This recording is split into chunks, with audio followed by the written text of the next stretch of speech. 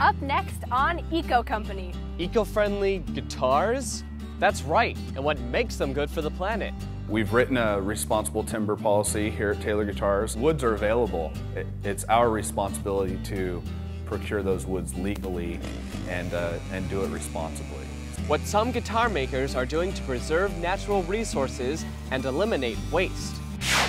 Plus, eco-friendly shopping. Alternatives to going to the mall. So someone will come in to our store and trade in their old clothes to purchase new clothes. What you can do to get brand name fashions and save resources too. Then two girls with a passion for the planet and buying local. You know, we really want to promote this idea around um, supporting local businesses and supporting local industry. Looking good and doing good while dressing retro. And one inspiring teen. We learned that, you know, adults listen when kids are talking. From books to movies to speeches, this Southern Californian wants to inspire change. All that and more coming up. On Eco Company.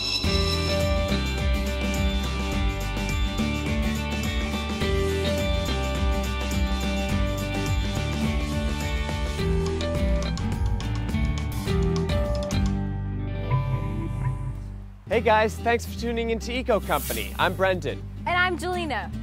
Everyone loves a great guitarist, right? Yeah, but do you ever think about how their guitars are made? Or whether they're made with the planet in mind. Adam's visiting one guitar maker to find out. We hear a lot about organics and sustainable products every day, but here's one you might not have thought of before. Guitars. Let's go see how they make them. Welcome to Taylor Guitars in El Cajon, California. Acoustic and electric guitars line the walls in every color of the rainbow. But underneath it all, they're all green. We're talking green as in eco-friendly. We've written a responsible timber policy here at Taylor Guitars, and we also have a, a floor policy um, which addresses the forest floor and how we will continue to sustain that, that environment for the villages and work with them to continue that process. Whether it's getting the wood from forests in Central America or making masterpieces back at the shop, these guitars were made with a thought for the planet every step of the way. The top is two pieces, and it's considered a book match top. Chris Wellens has spent nearly 20 years here. My first job was actually working in the milling department, cutting various pieces of wood for the guitars. Now he's VP of manufacturing, and he's giving us a factory tour.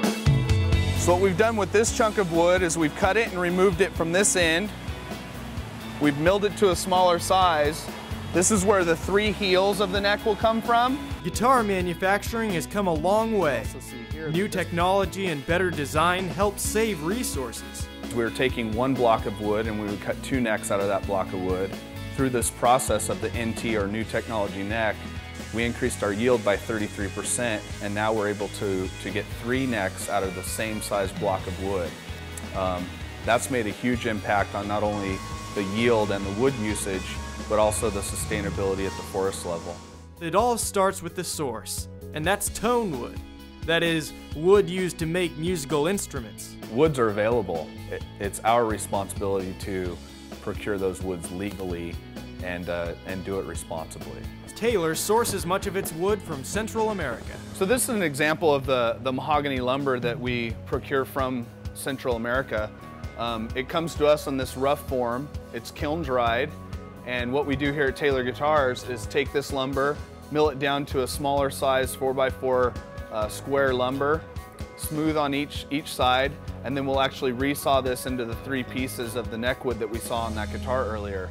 Mahogany is widely popular around the world, but it's been over-harvested through the years, so some varieties are commercially extinct. Taylor is using other methods to obtain it. Yes, it's actually started with us using dead mahogany trees and seeing if we could remove those from the forest and utilize them for a source of, of neckwood, along with a variety of other parts that go inside the guitar. Guitar makers know it's vital to sustain their main resource, so Taylor and three other manufacturers are all part of the Greenpeace Music Wood Coalition. Its goal is to change logging practices. The purpose of the, the Music Wood Coalition is to actually go to the forest and see it. Um, one thing that many of us don't know is They'll go in and clear cut an entire forest trying to get specific trees, and what they're doing is cutting down everything in the process. What we're looking to do is get Sitka spruce out of the forest and let other trees grow. Helping villages sustain their economies is also a priority. We are paying the villages specifically for their work and their value added work versus paying a third, fourth, and fifth party where one, one vendor or one corporation would go onto the ground, clear cut the entire area, and then produce parts or pieces out of that lumber and then sell it all over the world. Back in the factory, it's showtime. They use precise lasers and efficient design to get the most out of every piece of lumber. They take this portion here and they cut multiple truss rod covers out of it, which Okay. is used to cover the truss rod opening on the peg head of the, of the guitar. Okay. Whereas in years past, this would have just ended up being thrown away. And check this out. Utilizing the laser, we've increased our yield because look at the laser line here. It's very small and we're not just throwing wood away with every pass of the cut of a table saw. We're able to utilize this entire piece and get two, four, six, eight, 10, 12 pieces out of this versus more than likely six if we cut this on a table saw.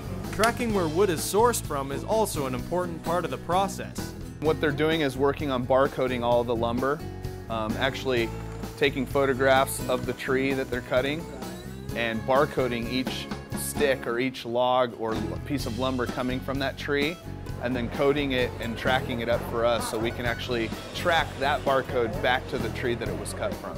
So, from sourcing sustainable wood and helping villages to reducing waste and recycling, Taylor's giving new meaning to what it means to be a guitar hero. This mahogany guitar sounds great. And who would have known that it's made sustainably, too? Something to think about next time you're strumming a tune. Thank you very much. Coming up, shopping with the planet in mind. So someone will come in to our store and trade in their old clothes to purchase new clothes. Saving resources, energy, and money. And looking fabulous. Then two girls making retro a fashion trend. We just really embrace the idea that you can actually repurpose a lot of things and still look cutting edge. Making old new again. And keeping it local. More Eco Company is next.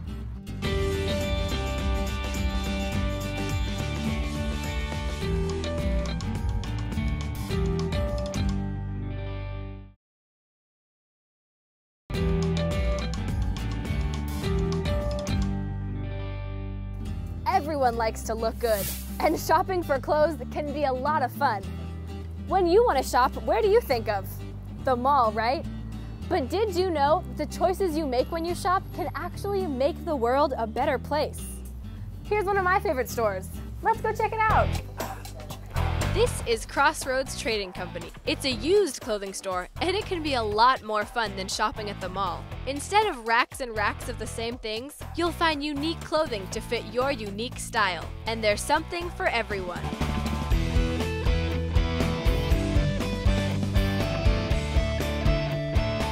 Of course, one good reason to shop at a used clothing store is the prices. I think I'll try this on. It's cute. You can find cool clothes in great condition for a lot less money. We price things a quarter to a third of what it's sold for at retail.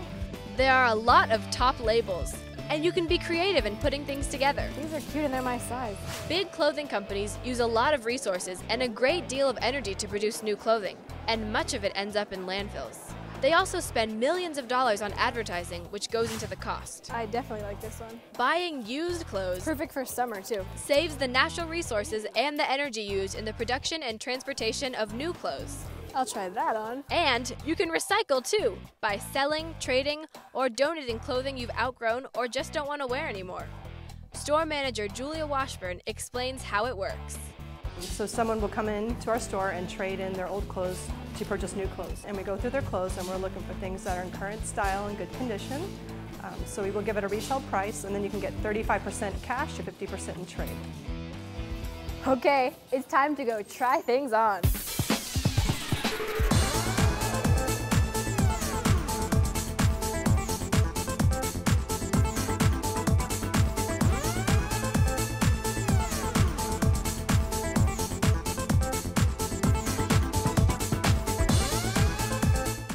You can often get great stuff and name brands at a store like this. But no matter where you go to donate or trade or sell your used clothing, you are reusing and recycling, saving natural resources, saving money, and having fun too. That was amazing. I got great clothes for a great price. You know, there's a lot of used clothes stores out there, and everyone seems to have their favorite store. Jordan found one started by two girls with a passion for the planet. Hey guys, we're headed to one of my favorite stores.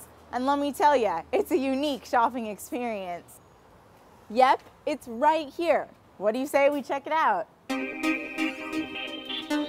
This narrow path leads to Retrofit Republic. It's a vintage clothing store.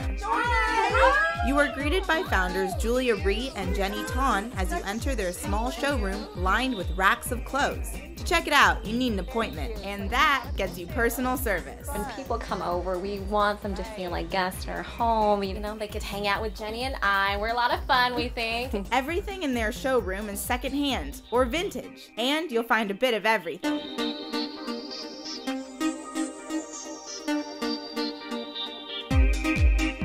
They love the classic look of antiques, and everything here represents their personal style. Everything in this store is hand selected by Julia and myself.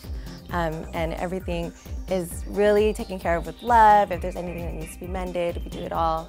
Everything's cleaned. Jenny says the idea for the store began with a yard sale. A lot of people came out and we got a lot of great feedback and people were asking us if we were going to do this again. And then that that's when it clicked. There's a lot of people who are interested in the items that we were selling. Um, and at the same time, it falls into line of sustainability where we're not selling things that are new, so people aren't buying items that are manufactured new. It's a philosophy that began at a very early age. And growing up, it was there was never this idea of, of, throw away anything. It was like with a little bit of work, um, you could repurpose, re-edit, um, recycle anything and everything from food to clothes to toys. Mm-hmm. When we started out with Retrofit Republic, we, we just really embraced the idea that you can actually repurpose a lot of things and still um, look cutting edge. On that note, I would love to get my own fashion consultation to possibly find that one-of-a-kind eco-friendly outfit. What do you guys say we get started? Yes. We try to be very creative in how we source things. Um, it could be anywhere from yard sales, garage sales, thrift stores, vintage stores, donations. Um, we try to diversify how we get things. That's super cute. I love the paisley pattern. dress. Perfect Love for that. the spring, summertime. But there is one in particular perfect Purple, my favorite color. Oh. so cute and classy at the same time. I love it. Okay, let's try them on. Okay, let's do it. Oh, my oh. god. The dress looked great, but these girls believe in accessorizing. So they suggested a vintage belt to add shape and an eye-catching accent. Some simple, classy earrings, a vintage watch, a natural vintage bag, and voila, a complete outfit. Well, I definitely love it. You guys did an excellent job putting this together, which I didn't think was going to work at the beginning, but you know what? We definitely made it work. Yes. Making it work is what these guys do. Buying used or vintage clothing from places like Retrofit Republic not only saves resources and energy by reusing and recycling, it also supports local businesses. You know, we really want to promote this idea around um, supporting local businesses and supporting local industry and um, this concept around slow fashion that you don't have to like churn through everything within like a matter of three months but you know hold on to that garment you know with you can belt it you can accessorize it you can do a lot of different things with it we're huge supporters of the local economy obviously So people can look cute, save money, save resources, save energy. So literally it's a win-win situation for everybody. we think so Yes, look good, do good.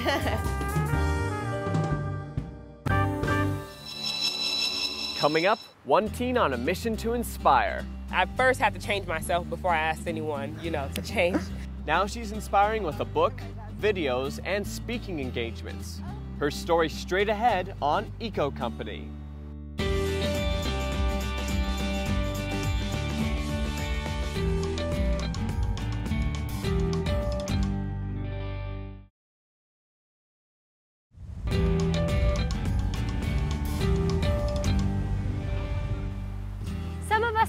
Are about climate change, and understandably so. Is it real? How does it affect me? And is there anything I can do about it? All common questions. And this next scene was definitely from that camp. Until she found there are solutions and we can all do our part. Good afternoon. My name is Jordan Howard. Um, Meet college student Jordan Howard, an environmental activist, public speaker, filmmaker. Oh, and yeah, she's even helped edit a book. I hope to inspire people to change their behavior. This Green Teen's mission to educate and inspire others to protect the planet is one we had to hear about in person. So we traveled to the coast of Southern California to chat with this multitasking powerhouse. So this all started at your environmental charter high school. Tell us about that. Tell us about the programs offered to the students and how the whole school sort of worked. Well, Environmental Charter High School, it's a small school in Lawndale. The purpose of the school is to teach us to be lifelong learners and to be agents of change in our community. It was there where Howard learned about global warming in the ninth grade, but her road to eco activism was anything but smooth. I always got in trouble because I used to always be the only one to raise my hand and say, "Why are we learning this? This is not important. I don't think we need to be, you don't you shouldn't force this upon us." I was resistant and I thought it was a movement for hippies and I thought that I had no relation to the environmental movement. But soon she had a change of heart. Something clicked. That I was resistant because I didn't know. I wasn't educated. I didn't really know what the solutions were to global warming. We were taught about global warming and we knew all the effects of global warming, but we didn't know what we could do to prevent global warming. I felt empowered when I learned that I could actually do something to combat global warming. I can do something in my own life, in my family's life. So that's what I started to do. I started, I first had to change myself before I asked anyone, you know, to change. Once the light bulb came on, she didn't waste a second. And it didn't take long for people to know she meant business. And then I went home and said, okay, we need to green the house. We need to start going to farmers markets and refusing plastic bags at the stores. My parents thought I was crazy, and I was just like, okay, I'll come back later. so I had to, they had to see that I wanted to make the change, and then they were uh, really, they wanted to do it as well. She took action at school too. Working with the Surfrider Foundation, she started a campaign for teens called Rise Above Plastics. And I learned my 10th grade year about plastics and how they were harmful for not only the environment but for humans, human bodies because of the chemicals that are inside, I was really empowered to do something. And I was just like, okay, if I know that I'm not the only one that didn't know this before we learned this.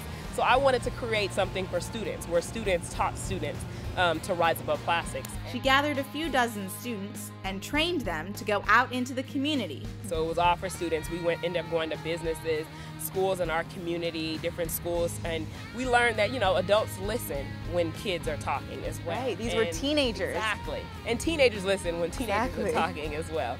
Howard's taken her message to LA's Environmental Youth Conference, to the International Plastics Are Forever Conference, and to the TEDx series. I use plastic all day long, so it's easy to get rid of all we have. It's easy to end plastic pollution. I mean, I use this every day. We just have to change our behavior. And there's even more. She's also a filmmaker. My first project was a day in the life. So um, I, when, when I was first inspired, I saw I saw that the green movement needed education. People needed to learn because you, I mean, we're still in a time where there are millions and millions of people that don't even know what climate change is, and they can't explain to you what climate change is in three sentences. And that's a problem. Uh, that's a really big problem when we're trying to get people to change their behavior. So I say that everything that I ever want to do, I want to educate people. I just want to make sure I'm educating people. So we did that with that film. We taught people from little kids to grown-ups to teenagers how to go green in their lifestyles. She's also doing that through the latest book she's had a hand in. It's called Green My Parents. First thing that we teach in Green My Parents, we teach the kids how to read their electric bill and how to understand their electric bill and understand kilowatts. Because I even asked my mom one time, I was just like, while we were writing the book, do you know how to like read an electric bill? And she says, I don't, I actually don't.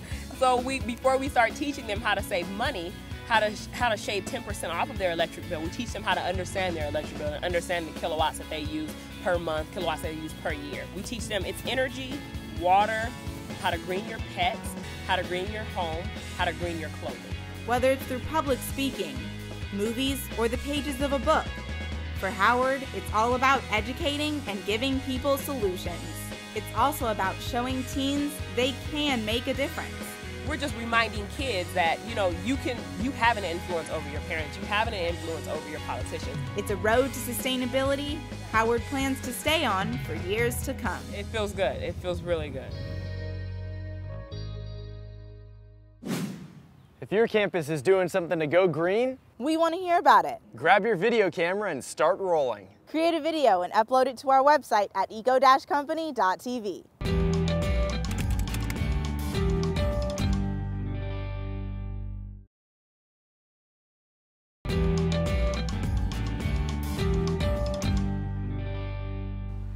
Well, that wraps up another episode of Eco Company. Thanks for watching us. For more information on the stories in the show, or to give us your feedback, visit our website at eco-company.tv. And be sure to check us out on Facebook. We'll see you next time on Eco Company.